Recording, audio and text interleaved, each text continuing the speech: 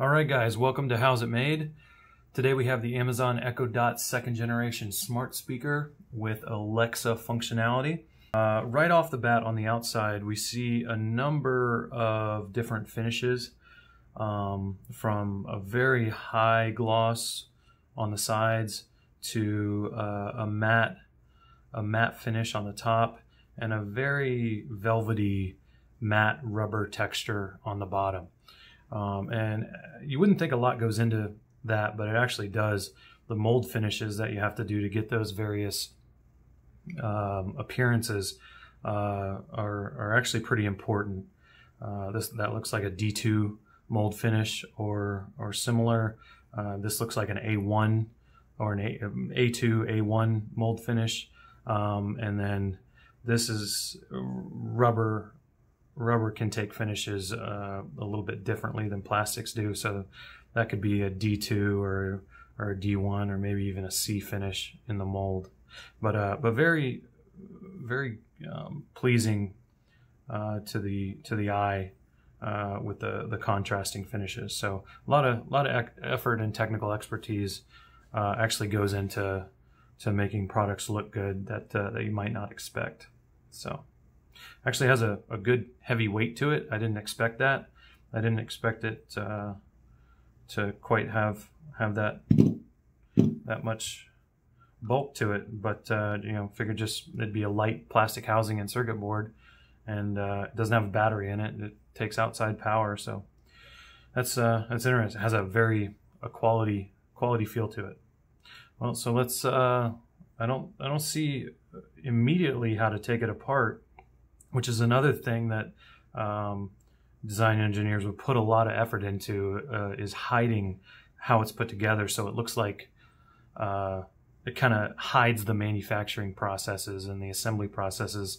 So you know somebody who doesn't know anything about how things are made uh, might think you know that looks like it's you know polished out of a solid chunk of obsidian or something but really it's just cheap ABS plastic probably. Uh, but so let's see if we can figure out how to get it apart and take a look at what's inside.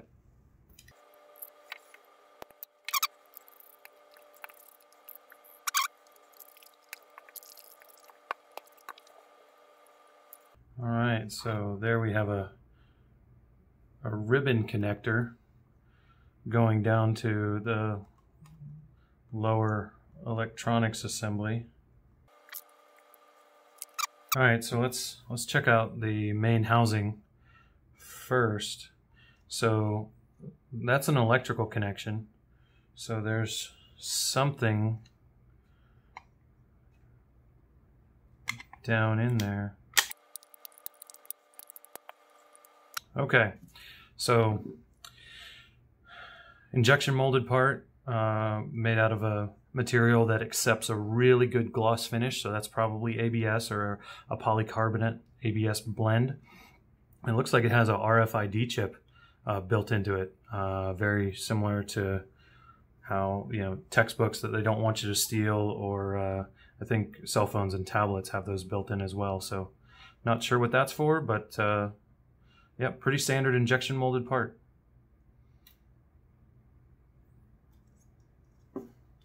All right, and so this is the part that came out with a, a electrical connection built into it.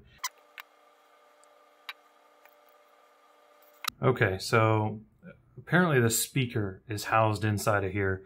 And what I'm assuming why they went to the trouble of putting it inside of this two-part assembly is to get some sound wave amplification similar to Bose technology that's it's not really cutting edge anymore. But back when Bose did it, you know, decades ago, it was really cutting edge. They got uh, deep bass sound out of a little tiny stereo.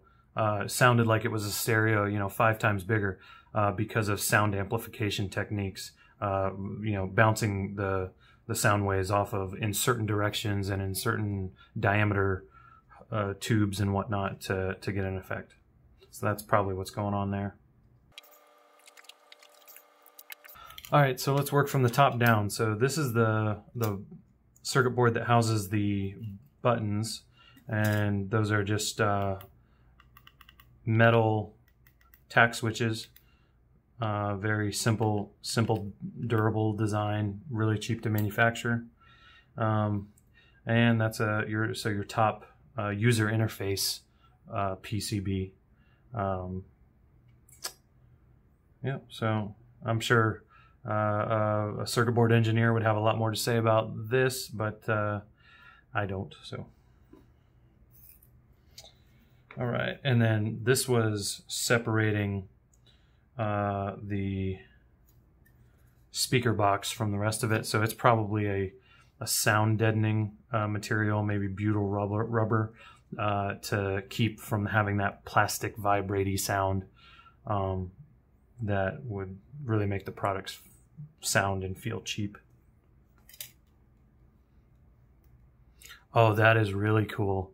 You see how that how they built in the spring spring action. That is cool. So that that's a, a stamped sheet metal piece, feels like. And that is that's that's a example of an, another compliant mechanism. Uh, uh, talked about those the last episode, and compliant mechanisms are cheap.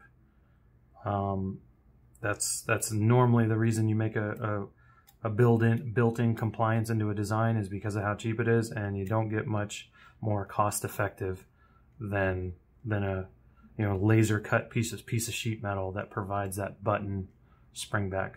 That's uh you know little, a silly consumer electronic has some pretty cool engineering in it. Stuff uh, stuff you wouldn't expect.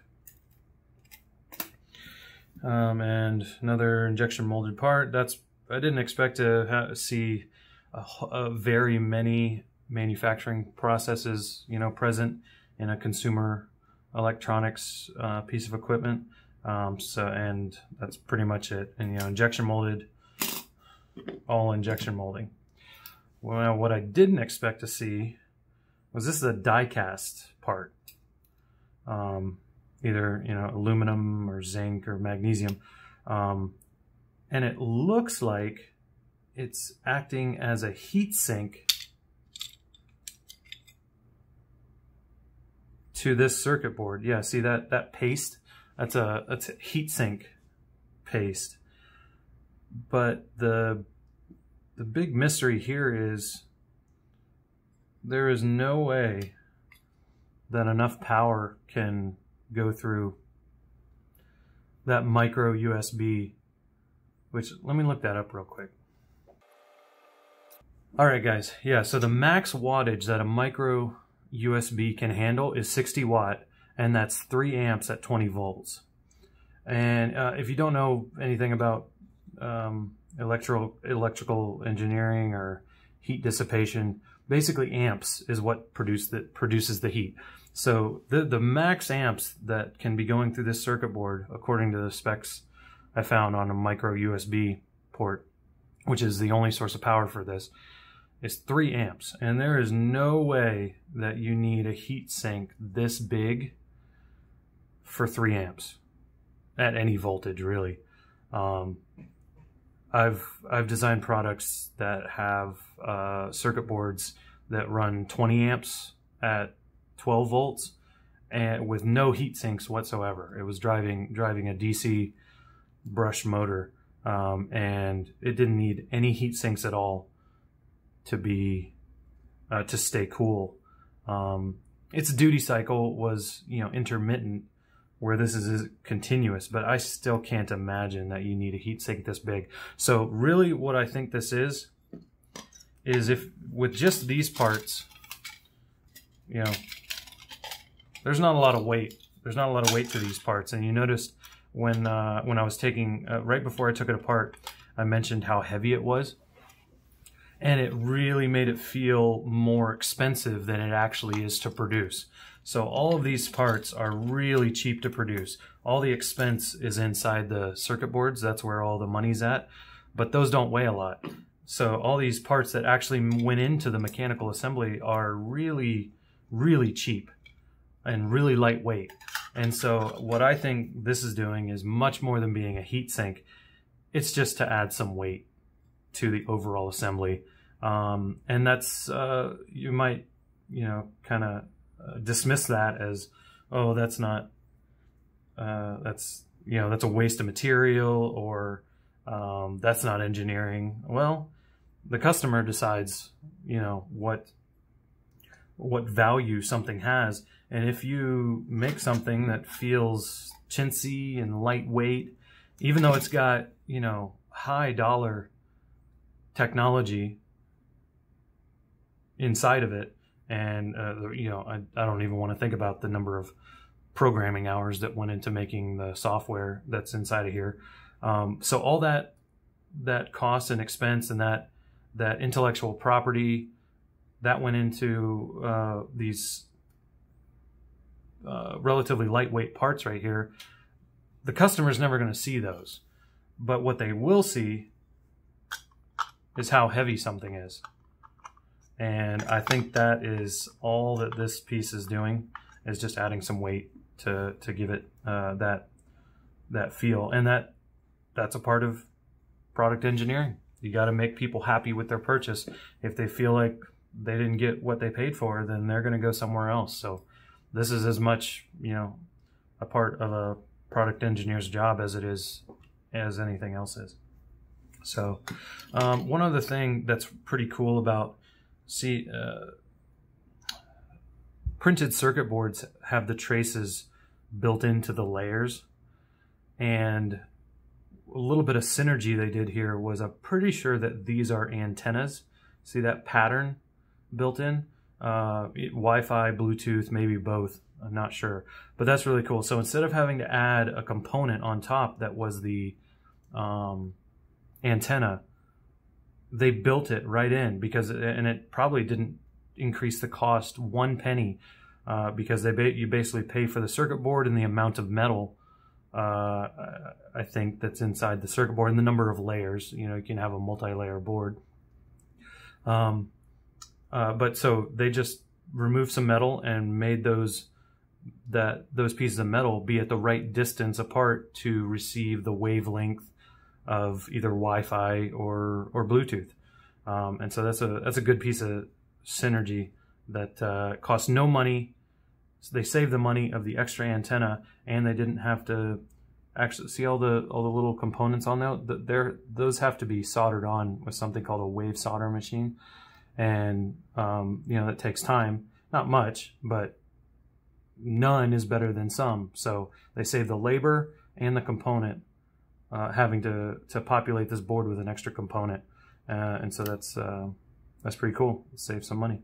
All right um, I think that that covers it guys um, product doesn't have to be complicated to have serious uh, technical expertise built into it. And uh, that's why I wanted to, to take one of these apart, uh, kind of a deviation from our, uh, from the, the more mechanical, uh, highly traditionally engineered stuff. This is kind of engineered in a, in a different way. It's, it, it, there's just as much expertise that went into making this. It's just a different kind of expertise. So I hope you enjoyed it, guys. Uh, that was that's my take on the uh, Amazon Alexa Echo Dot second generation. Um, please share, subscribe, like, hit the little bell icon uh, so that you get notifications.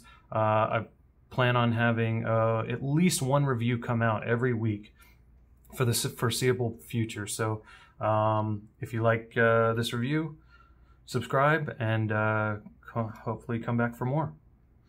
All right, thanks guys.